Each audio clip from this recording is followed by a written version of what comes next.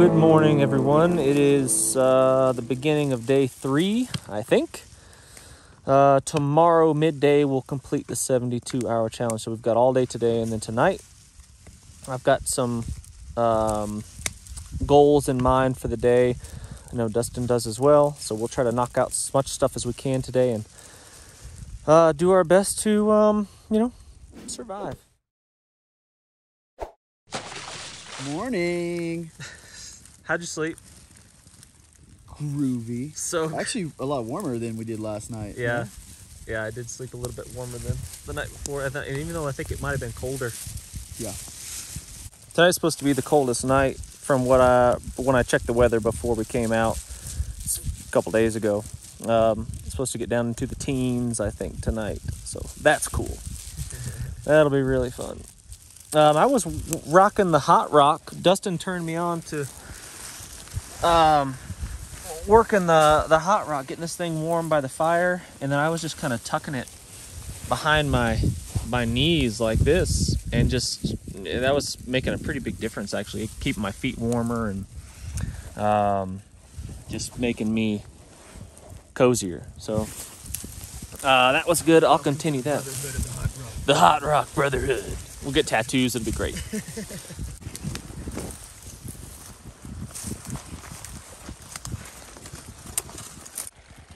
you fell in there right now, that would suck.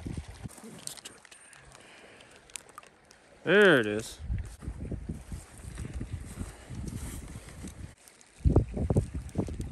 Oh, fingers numb. Completely numb.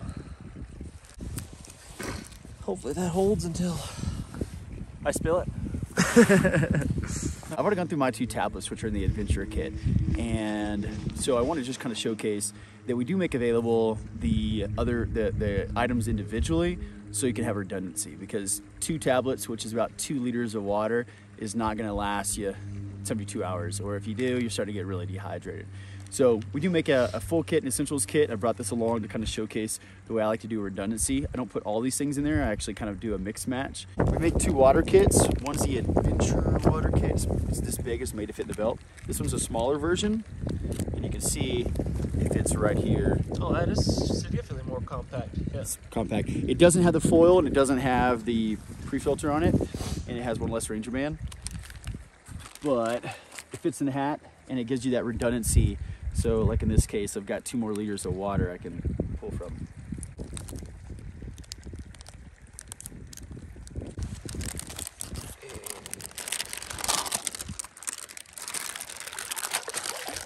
Kind of.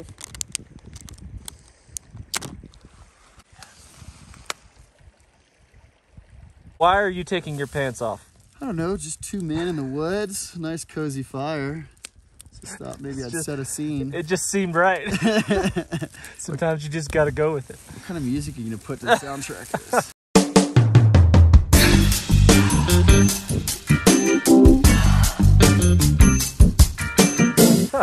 so I'm depantsing because I've got a, uh, when we were doing a little bit of jumping from rock to rock there, one of the rocks jumped up and bit me in the buttocks and uh, you can see right here, that's already getting gnarly. It's gonna continue to rip. Yeah. So I'm gonna go ahead and sew it up. I'm gonna use the fishing line and the, uh, and the needle in our kit and, uh, and get that repaired. Cool. So clothing is super important when we're out here. If you're not dressed appropriately, that's, I mean, you're breaking kind of rule number one in my opinion. Before you even head out, make sure you've got things covered. Check the weather report. Make sure you're dressed appropriately. And if you had to sleep out here, are you going to freeze to death in the clothes that you're wearing without any shelter? If you can come out with the clothes that you're wearing and sleep out here at night and not freeze, I think that's a that's a good plan and a good win. So first off, I've got good footwear. Um, these are some Keen boots. They fit my feet really, really well. That's kind of why I've been with them for a while. Um, and they are waterproof except for this giant big gaping hole in the top where your foot goes in. If it goes over that, you're not you're gonna be a little bit wet. But anyway, I've got some darn tough wool socks. I've got some merino wool thermals underneath my Tru-Spec Expedition pants. These pants have been awesome. I wear these literally every day um, for all tasks and activities. I've swam in them. I have hiked in them. I've camped. I work out in them. I, I very rarely change into workout clothes anymore. When I get home from work or whatever it is I'm doing for the day and I need to get my workout in, this is what I exercise in. So great pants. I have no issues, no no tears, no holes, no nothing from from the bushwhacking we were doing yesterday. Um, and then on top, I'm wearing the Tru-Spec um, H2O proof. I think it's called the three in one parka. Don't quote me on that, but great jacket. Um, blocks the wind, completely waterproof. Um, doesn't breathe that great, but in this weather, that's not a real priority for me. So I could always take this off, and then underneath it, let's see if I can show. Underneath it is a removable insulating layer so that, that I can wear just by itself. Maybe I can show you here. Yeah. So it's basically just a puffy jacket underneath it that I can take take the raincoat off and wear it by itself. And this does breathe really, really well, and it dries really, really fast. Um, so that's keeping me nice and cozy and warm, and life is pretty good. Oh, underneath, underneath I've got a few layers on. I, you know, I've done the thing where you go out in the t-shirt and you rough it and you freeze and you shiver and life is miserable, and that's cool. Um, but I wanted to come out here, and the point of this was to kind of showcase the Wazoo gear and show its versatility and reliability and just overall usefulness, keeping you alive. Um, so I wore a bunch of layers because I knew it was going to get cold. But anyway, I've got uh, a wool uh, sweater on, and then I've got a couple of wool t-shirts on basically underneath it, and I've been, you know, fairly warm. Not, I wouldn't say super comfortable, but comfortable enough. 50 pound moss green braided Spectra, made in USA. Getting back to that Hank style. Yeah, it's just like this where it's Gotcha. in a coil. And then you can undo this knot here at the top, just half hitch, and you got both of those. But if you start pulling and yanking on it, you can easily get it knotted up and you're gonna be cussing up a storm because it's stuff likes to bind on itself.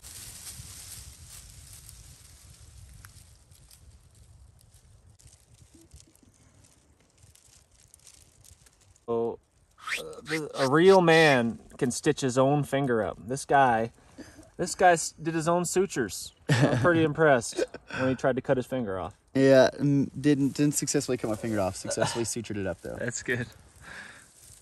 So I'm sewing from one side. I like to bend my needle just to have that that hook needle. So I knotted this, pull it around, and that'll be my stopper knot. Oh, one way you can kind of lock stitch, maybe that's what it's called. I was taught this by, I was on a ferry in Alaska, and this native lady was sewing some stuff up in the ferry, and I just was watching her and asked her how she did some stuff. And so if you're doing this, I don't know what this stitch is called, where you just kind of go in back on itself. Back through the loop. Yeah, back through the loop. You just come back around it itself, twist it like twice, Oh, okay. and then create like a surgeon's knot or something. It'll lock down. And you can do that every so often. You can just do a couple loops, and then you can do that lock knot, that lock stitch. So I brought my pack and thermometer away from the fire a little bit just to see what the actual temperature is outside. Let's see if I can get you to see that. It's right at 30 degrees outside right now. And that explains all of the that.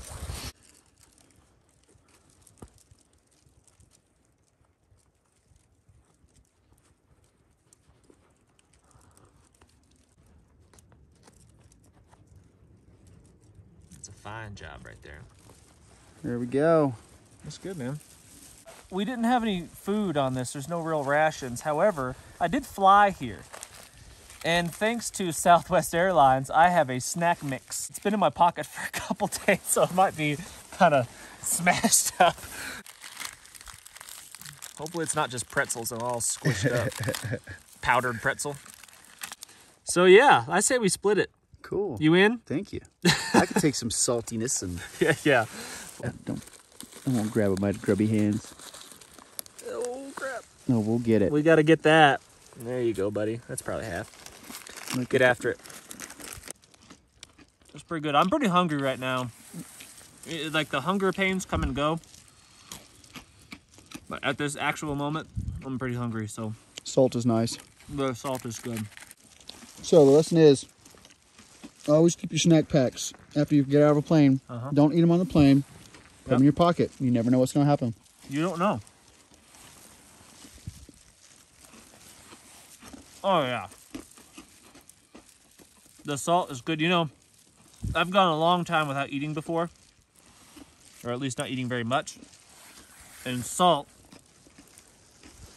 even the tiniest little bit of salt was what I craved. Just saltine crackers were the most amazing thing on the face of the earth after going without for so long. So I'm going to attempt to make some sort of artificial lure, fly of some sort, um, and maybe potentially if there's any fish in this stream down here, might catch one. I haven't seen any fish, have you? No, I just saw upstream. It seemed like I saw them kind of spurring around, scurrying. Scurrying. Is that what fish do? Scurry? Well, I said spurring first. I don't know what that word is. spurring. The spurring trout of Colorado. um, so yeah, I don't know if there's any fish in this stream. I was told that it pretty much dried up a couple years back, um, which means problems for trout populations. So we'll see. I, I, you know, I don't know. We'll see if there's anything in there. We might get some action, but but in an effort to, um, you know, produce some more foodstuffs, a protein source for us, uh, I'd like to try to make some sort of lure. Finding bait with the weather the way it is, as cold as it is, is going to be tough. We might be able to scrounge up something, but most likely our best bet is going to be some sort of artificial. So I'm just going to make myself a fly tying vise. Um, something that's going to hold my hook while I work on it because it's very, very difficult to work on a hook, tie stuff, attach things to a hook um, while holding it in one hand. So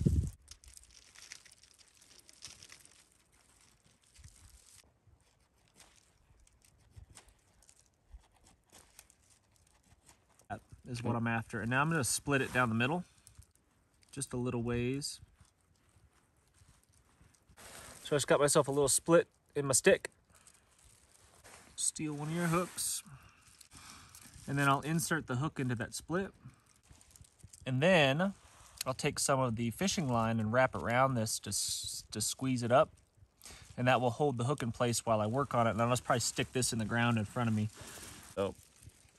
So then we'll just take this and wrap it around underneath the hook. And that squeezes that split in place. I used to tie flies a lot as a kid. Fly fishing was kind of my thing.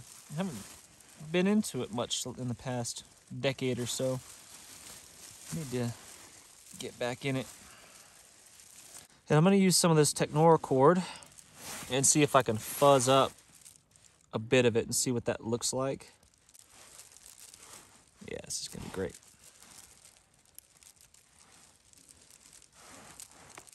Then you'd kind of spin it around it like that. Oh, yeah. we are going to be in business.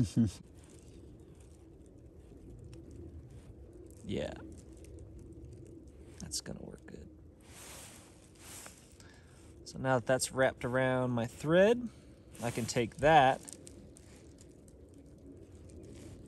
and wrap it around the shank of the hook. And that will maybe give me some sort of beefy looking, tasty looking body to that a fish might find attractive.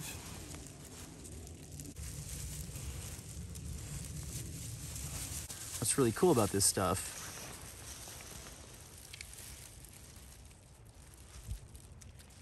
Oh, it can get small. that's what I want right there. Exactly that. That's exactly what I want. Cool.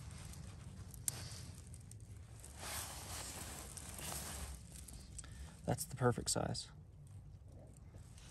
You're a genius. that stuff does not rip. Like when if you uh, that's why we put the snips at the at both ends. Yeah, If you try to rip it, like a grown man can pull both sides and it won't. really. Yeah, it just stretches and stretches. Yeah.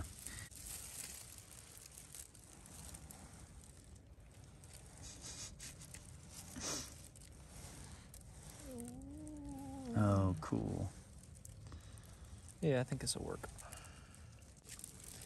Take it through like so. I know it's probably hard to see on camera, but like that. And they pull this out. Yeah, that worked. Good. Might catch something, It man. looks just like the native uh, flurry whoppers yeah, that are around. yeah. here. The flurry whoppers are um, pretty aggressive at times of the year, but the trout love to eat them. You know. Our fly. I mean, you can kind of mess around with it and twist it around a little bit. Like I said, it kind of wants to spin around the hook a little. Little pitch on the um, little pine sap on the hook shank to start with might, might have cured that problem. So these holes are made in all these objects to at least fit the bead chain, which also means it's going to fit the Technora cord. The kit is always meant to be pretty modular. Some of this stuff, like, I've never thought about it, but it wasn't an accident that this stuff, we do have things, we have, when we make a hole, we make a hole diameter pretty much the same every time so that it can, you can make it your own. You can modularize like this. I feel like you just made that word up. Modularize? Yeah, Oh, it's definitely made up for a term. That's- a Dustinism. that's good. So what do you got on there? Your primary tools, I guess. Yeah, I think that's I'm the same ones that I. I copy. I'm copying you on this Oh, one okay. completely. Yeah, I think I might, I might add or subtract something, but for right now, I think I'm copying you exactly. Yep. I've got good ideas, man. yeah, I agree. and I like how you stow it in your hat that way too. And in the military, they call this dummy cord, where you attach it to yourself or to your kit, so even a dummy can't lose it.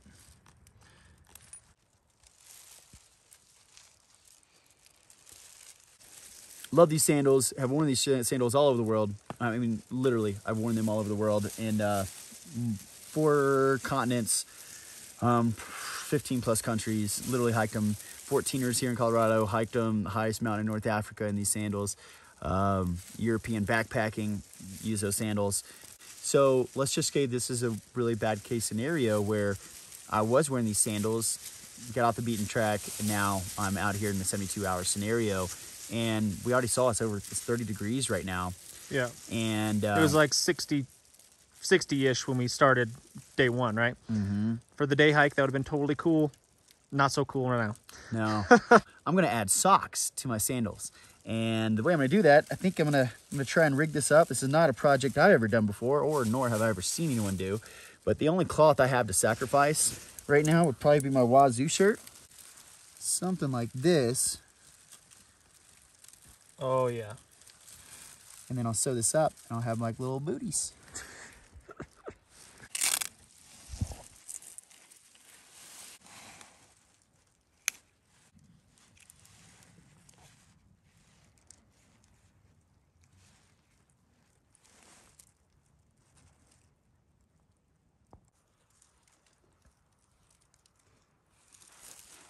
Let's just test this. We're doing this in real time. Yeah, as soon as they go in, it should lock everything in place. Oh gosh, look at you. Feels good. Those are great, They feel real good. and they look so cool. They're gonna be nice. Yeah. That's awesome. Oh man, that is cool. Cool. So I'm shirtless, but now I'm sock full. So we're we're stepping up in the world.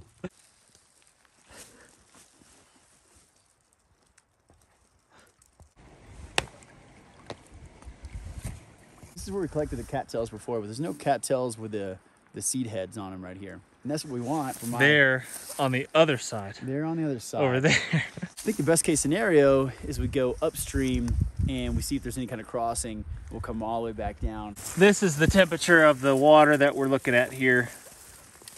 That's um, unpleasant to say the least to go in and just we'd be have an absolute shiver fest afterwards. Nice. Didn't even get your socks wet. That's what we're looking for right there. When you twist these things up, you get about a hundred bajillion seeds that come out, really fluffy, and will they make it makes a really good tinder. Um, and it will also do some really fantastic insulation in our uh, very stylish socks. Mm-hmm. Thank you. Yeah.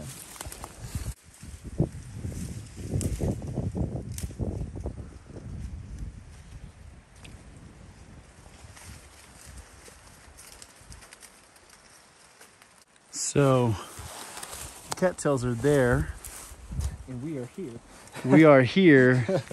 and frigid water is there. Yeah, frozen icy water right there.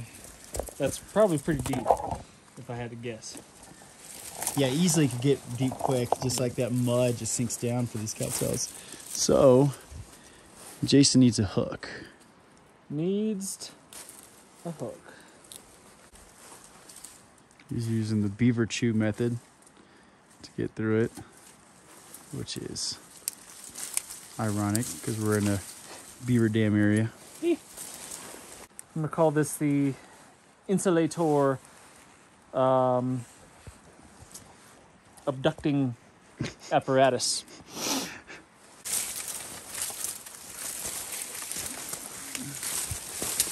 That worked like a charm.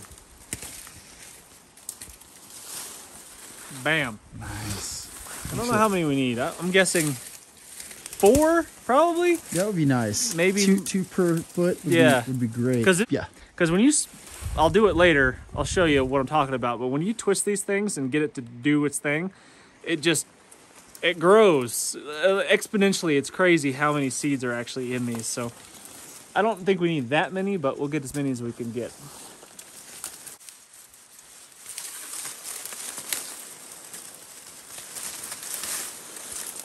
Bam. nice. Thank you. Should we save this special multi-tool? It looks cool. I don't know what else we're gonna use it for, but we'll find something. Maybe we'll Alright. we'll have a good. Everyone needs a stick in their hand. Gotta have a, a whack. You know, you know what? I have killed a lot of animals with a, s- a stick just like this. And IAA is also a whacker. It's yeah, a it's yeah, it's also a um, um, what will we call it? Small creature dispatchal dispatching implement. Uh, so yeah, what I typically do is I would I would leave some of the branches on the end and make it like a fly swatter, and you can get crickets, you can get small frogs and uh, lizards and all kinds of stuff with a tool just like that. Basically, a big long fly swatter. It works really well. I've I've eaten a lot of critters like that. All right, so so far we've been using our purification tablets to purify our water. But what's really cool about this kind of system, what's in the adventure kit, is we include a six inch by 12 inch piece of foil, and the uh, you can use that in combination with our emergency reservoir to make what they call a SODIS, solar distillation. It's just say six hours would probably be a safe bet.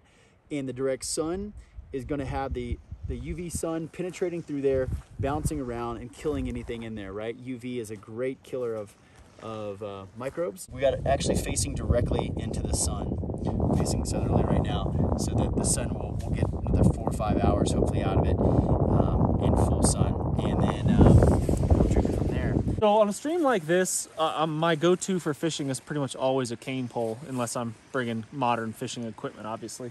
Um, and just because it just makes it easier to present small flies and that kind of stuff, even small little worms or bait that you might be using, just makes it really easy to kind of put it right where you want it. I'm gonna do some pseudo backcountry hillbilly fly fishing today.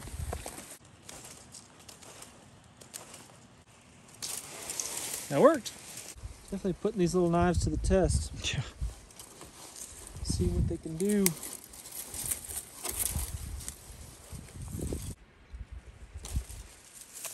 I always try to leave a little um, kind of fork at the at the end if I can. It just kind of helps keep the line secured on the end of the cane pole. Probably seven feet or so, maybe a little longer. What I'm gonna do th- listen, there's there's lots of ways to skin a cat, right? The the way that I do it may not work for you, but this this this way always has worked for me. If you have if you're dealing with really big fish, I would highly suggest tying it off not only to the tip of your fishing rod, but also running the line continuously back to where the handle is, because it will. Um, if the tip should break off, you'll still be able to hold on to that fish. You're not going to lose it. But they are very tiny fish in this stream. Not going to be an issue. I don't can't imagine us breaking the, the uh, rod. So I'm just going to tie off to my um, to the tip of my rod here. Simple squared out in the end. It can't come off the end because of the fork, and that's going to work just fine. And then I want about the same length of line as my rod is long. And if you were worried about cutting your line, you could always just kind of spool it up around the base of around the handle all the excess, you could kind of wrap around the handle here and then run it up there, and then you wouldn't have to cut your cordage if that was a concern for you. Now it's time to attach our leader material um, to our main line here. I'm gonna do a bow line right here, and that will be my loop.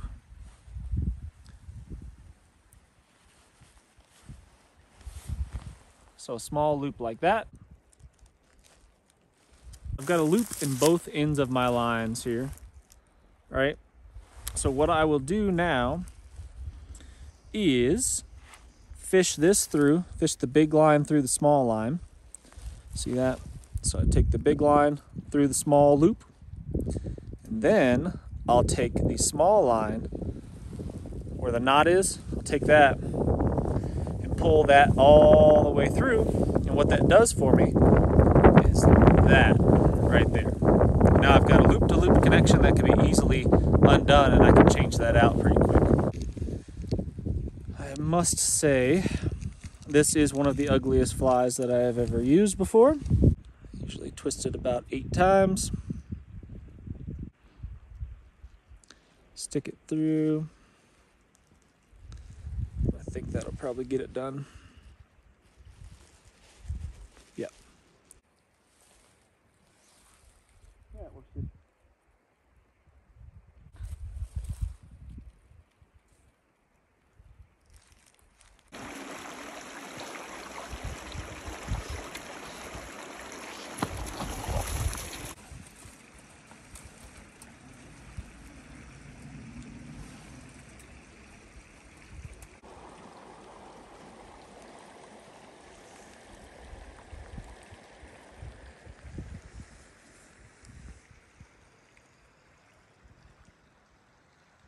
So I've got here um, the necklace that I've been sporting for a while now. Um, and what's really, really cool, I've actually modified this one quite a bit. This is not the way it actually comes. I have attached the Viking whetstone to it, but I've still got my striker. Still got my ceramic striker, and I've still got my ferro rod attached to it, um, which is nice. And the really cool thing about this cordage, and probably the primary reason why I went with this cordage and not some other, uh, like paracord or something like that, is that you can cut into this thing. The red stuff on the inside is the tinder. So there's our tinder.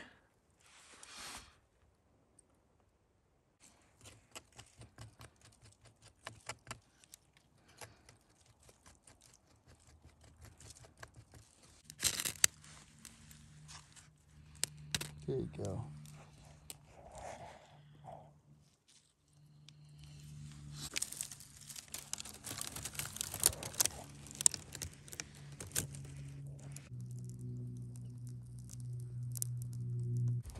So I sew zip ties right here in my cache cap.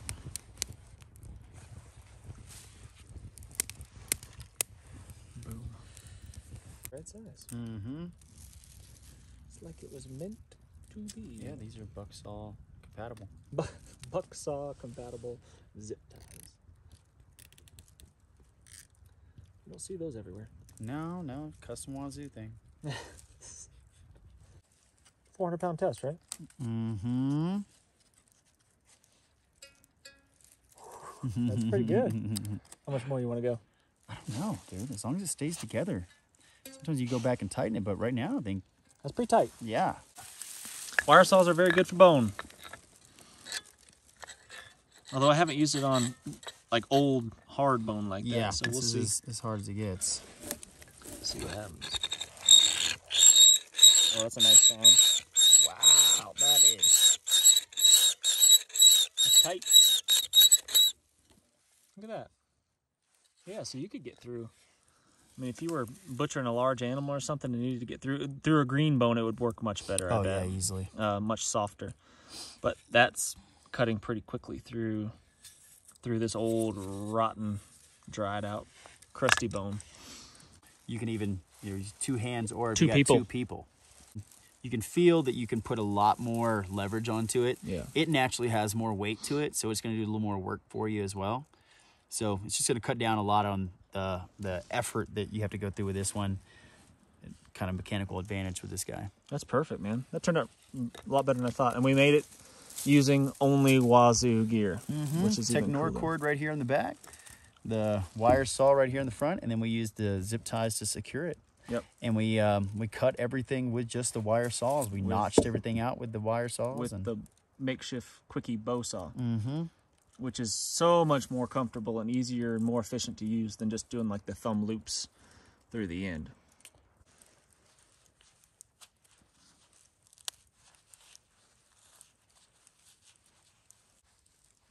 It's like um, it's kind of like mink skin or mink hair. Yeah, really soft. It's super soft.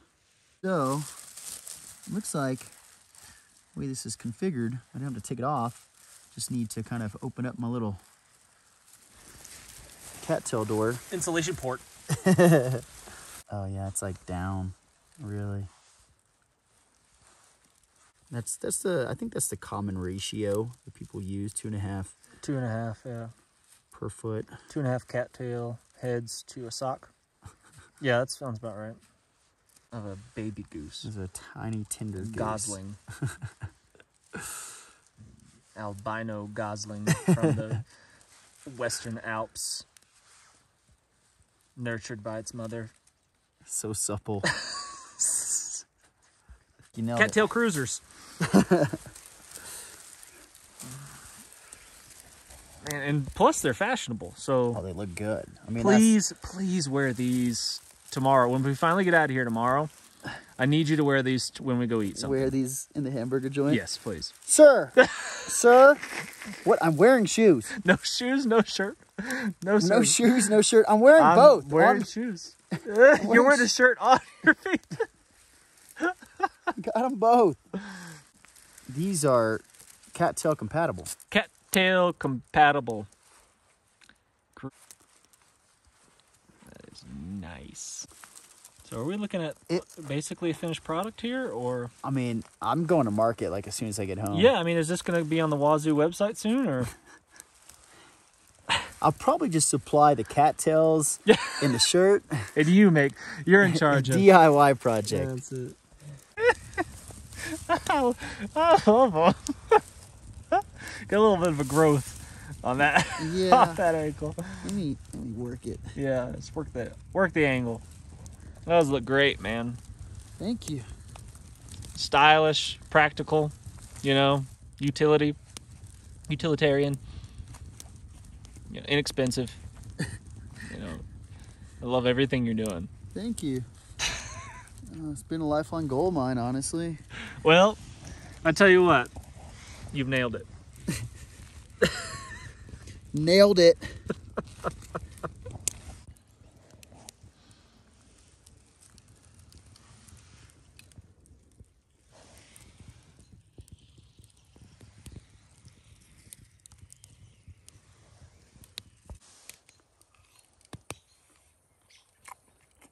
Pretty good. Dude, that is like raspberry pie.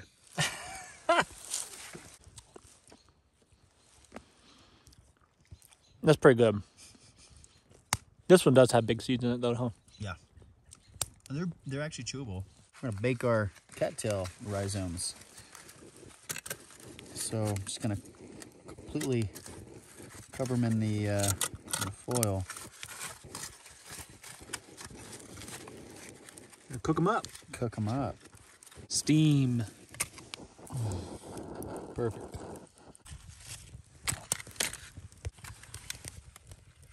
Oh, steam action. Steamed cattail tubers. A delicacy. Tonight's probably going to be really cold because today was frigid. I don't think it got above 40 degrees today. Um, spent a little time in the sunshine, staying warm.